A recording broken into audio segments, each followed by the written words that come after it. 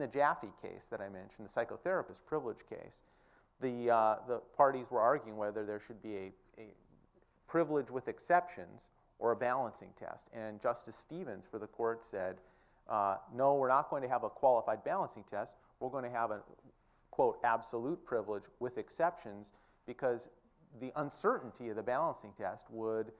frustrate the purpose of the privilege, that sources, and well, there was a patient and, and psych, so, um, psychotherapist, social workers in that case, wouldn't know in advance how the courts would rule, and that would chill the speech that was supposed to be encouraged.